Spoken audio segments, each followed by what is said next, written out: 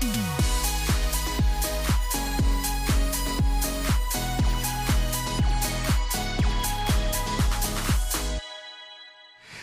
good morning everyone, Richard Wong here, welcome back to the channel. Today we are going to have a look at this product. This is the Smoke Genie from PMI Gear. Smoke Genie is a small portable smoke machine. It may not be as small as the Micro Fogger which I have reviewed a while ago on this channel, but you can still fit it into pretty much any camera bag very easily. There are two different versions of Smoke Genie available, the professional kit which is around $700 and the starter kit which is just released and the price is around $500. Both kits comes with the exact same smoke genie, a remote and a bottle of the smoke liquid and also the smoke chamber which holds the smoke liquid and also converts the liquid into smoke. The main difference between the two versions is that the professional kit comes with a hard carry case, an extra smoke chamber, a haze fan, and the smoke shaping nozzles accessory, which I will show you both a little bit later on this review, and a few other extra accessories as well. So if you are buying it for professional use and you know that you will be using it for a lot of your jobs, I think the professional kit makes more sense. If you're not too sure whether you'll be using it a lot or you have a very specific use case and you don't need all those extra accessories, then the starter kit is perfectly fine. And you can also buy all those extra accessories separately as well. The only thing that you need but doesn't come with any of the Smoke Genie kit is the battery. It is because of shipping issues, so PMI Gear decided not to package the battery with the kit, but it's the industry standard 18650 battery, which is super common.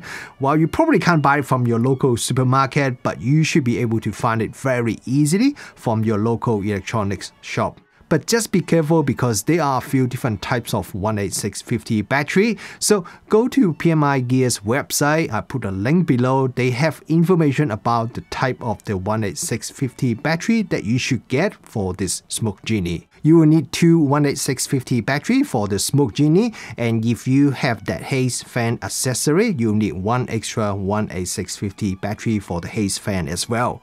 Both the Smoke Genie and the haze fan has a USB port on it for you to charge the battery, so you don't need to buy a 18650 battery charger yourself. Now the good thing about not having a built-in battery is that you can buy extra 18650 batteries and replace them yourself. So this is particularly useful for professional users. So even though the battery seems to last quite a long time, but if you are doing a very long shoot from morning till night, then you can easily prepare some extra batteries and replace them when the battery dies.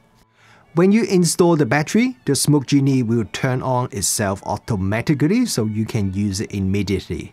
But otherwise, just first press the button and then do a quick triple press of the power button to turn it on. This is a safety feature so that the Smoke Genie won't get accidentally turned on when you are traveling and have it in a bag or carry case and something accidentally touch the power button so you don't want the Smoke Genie to turn on like that. So once you put the battery in to use the Smoke Genie, first you need to fill up the smoke chamber with the smoke liquid. To fill it up is pretty easy, a lot easier than the micro fogger. By the way, the tap on the smoke chamber would turn pink when it becomes hot. So if you see it is pink, don't touch the smoke chamber and let it cool down before you touch it so you don't burn your fingers. And then you just screw the smoke chamber onto the smoke genie and then smoke genie would detect it and then you just need to put the top cover back onto it, which actually has a few magnets on it for you to secure it onto the smoke genie. If you are using a brand new smoke chamber, then let it soak for a few minutes, but otherwise you can now start using the smoke genie right away. There's a very nice display at the front which tells you all the information you need to know, the battery status, the power, the fan speed, and also there's a little timer as well. To control the Smoke Genie is super easy. There's the up and the down button for you to adjust the power or the fan speed and you can press the circle button in between to toggle between the two settings. And at the back, there is a trigger button to generate smoke, or you can use the provided remote control as well if you are mounting the Smoke Genie somewhere that you can't or you don't want to physically reach. By the way, there's also a tripod screw at the bottom of the Smoke Genie for you to attach it to a tripod or light stand if you want to. So there are a total of 5 different power and fan speed settings that you can adjust individually. If the power is set to level 1, 2 or 3, then you can run the Smoke Genie pretty much forever as long as you have enough battery and smoke liquid in the chamber. If you are running in power level 4 or 5, then there is a time limit to protect the heating coil inside the smoke chamber from overheating. Once you finish using the Smoke Genie, just turn it off by triple pressing the power button. Then you should remove the top cover first and then remove this smoke chamber and there is a container that comes with the smoke chamber so you just put this smoke chamber back into the container. And even if there's still some smoke liquid inside the smoke chamber, you don't have to worry about it because the container is sealed. So the liquid won't leak outside when you put it back into the container and transport it. I really like this design. It is just very user friendly. I don't have to worry about what to do with the remaining smoke liquid in the smoke chamber. And that's pretty much the basics of the Smoke Genie. And now let's talk about some of the more advanced things that you can do with the Smoke Genie. Adding smoke to your scene can make a big difference on how your photo or video look like. But to take it to the next level, you want to be able to control the shape of the smoke.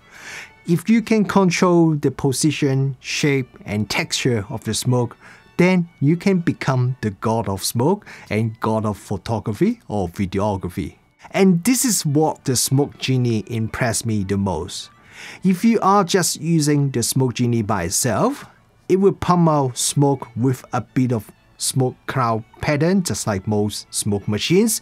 You can control the power and speed of the fan to change the smoke pattern, how much smoke it generates and also how fast the smoke moves and that already gives you pretty good control of the smoke from the Smoke Genie. So I did some toy photography using the Smoke Genie and look at this photo. I really like how the texture from the smoke that add a bit of motion to the photo. But what if you want the smoke to look more like haze so it doesn't really have the smoke texture?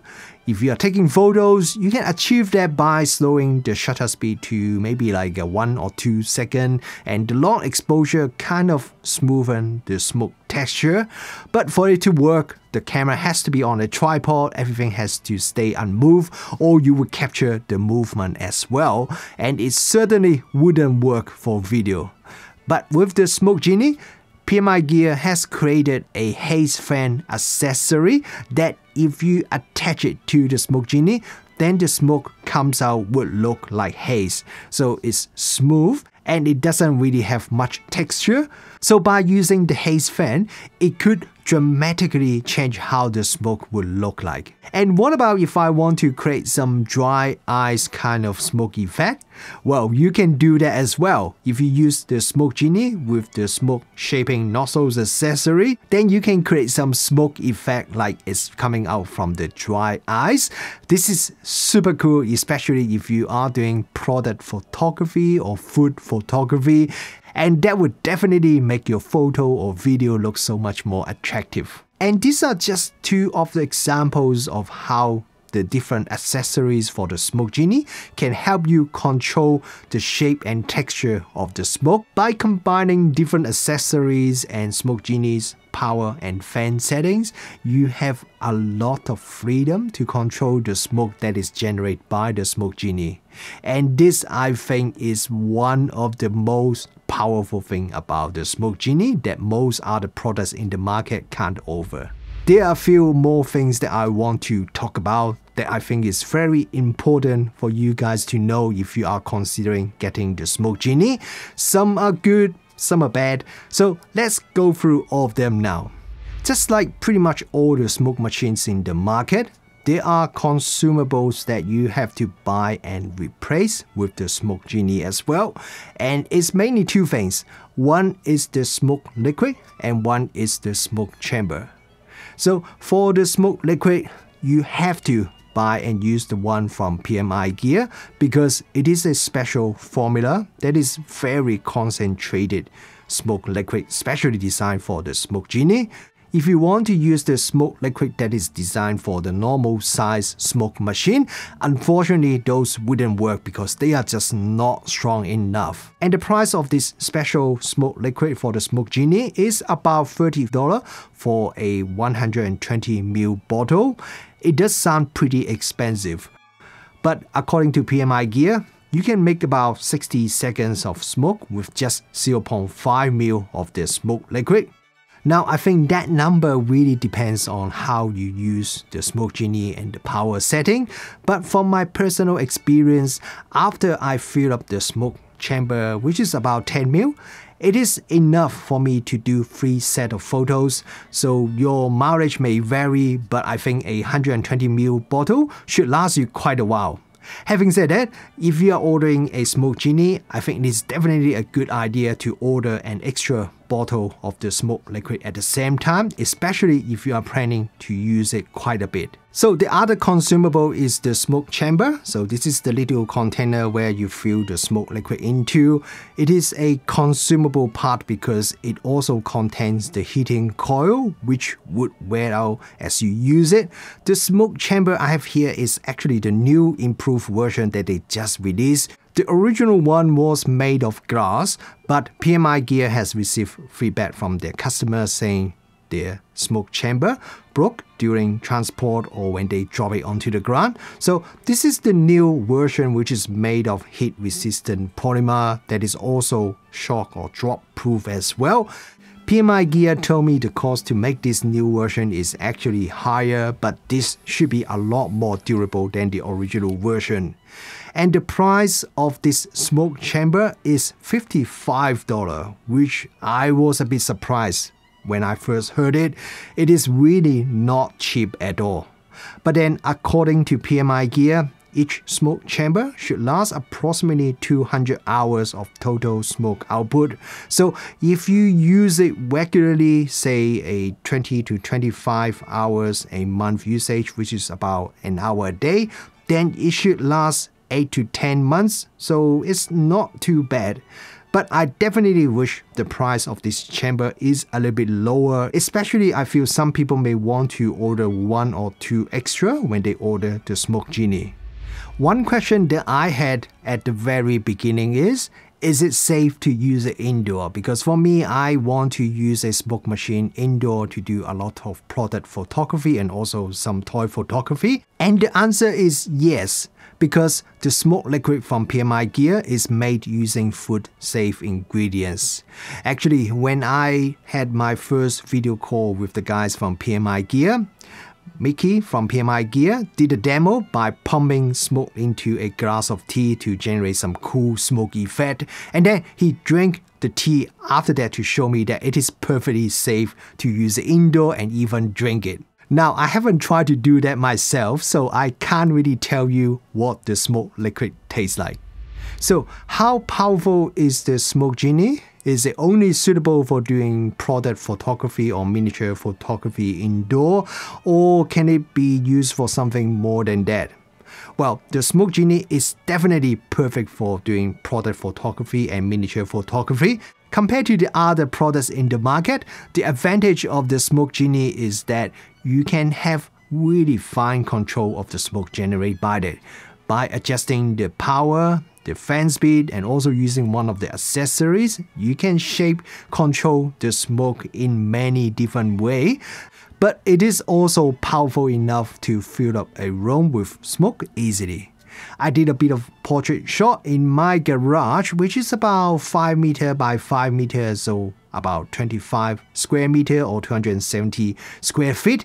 And I wasn't planning to fill up my garage with smoke, but when I finished taking some portrait photos, I noticed my garage was completely filled with smoke and it becomes really quite hazy. And can you use it outdoor? Well, yes, you can, But PMI Gear do recommend using two Smoke Genie for outdoor shooting, and I myself I find it works pretty okay in semi-open area. And if you want to use it in open outdoor area, it is okay as long as the place is not windy. The device has a USB-C port to charge the battery, so can I use the USB-C port to power the unit instead? Or can I use the device at the same time when I'm charging the battery? Unfortunately, the answer is no to both. The USB-C port can only be used to charge the battery when Smoke Genie is not turned on. As a smoke machine, the Smoke Genie is pretty expensive. There's no doubt about it even the new $500 starter kit is still not something I would call cheap and it is two to three times more expensive than the Micro Fogger that I reviewed on this channel a little while ago. So if you are looking for an affordable, cost-effective solution, it is probably not something for you. But then why is it so expensive and is it overpriced? Because there's a difference between expensive and overpriced. Now, let me give you an example. If you go to a hardware store and you want to buy a power drill, the cheapest one is probably only around $30. But then there are some power drills that would cost you around $300 that is like 10 times more expensive. So why is it? After all, they are just a power drill. I guess it really depends on what kind of user you are if you just need a power drill to help you for a weekend project, buying a $30 power drill is probably good enough. But if you need a power drill for your job and you need to use it all the time, it is probably a better idea to buy the more expensive one as the more expensive one usually are more reliable, better designed and would help you do your job much better. So if you need to use a power drill professionally, buying a $300 one could actually be the better investment than buying some cheap power drills. Now, back to the Smoke Genie. What I can tell you is, honestly, it is a really well designed smoke machine. After using the Smoke Genie for about a month, I can see how much effort the guys from PMI Gear has put into designing the Smoke Genie. From the way how you power the unit on and off, how you can easily swap out the smoke chamber and you can also put the smoke chamber back into the sealed container for storage, how you can replace the battery, pretty much everything about the Smoke Genie works very well. And the ability to shape the smoke and create different kind of smoke effect It's just another reason that makes the Smoke Genie much more flexible than most other portable smoke solution. It just gives you a lot more creativity no matter if you are taking photos or video. Now, I'm not going to tell you whether you should buy or not, just like I'm not going to tell you that you should always buy the most expensive power drill or the most expensive camera, but I'm really glad that PMI Gear has created such a nice smoke machine for those of you who want the best small smoke machine in the market.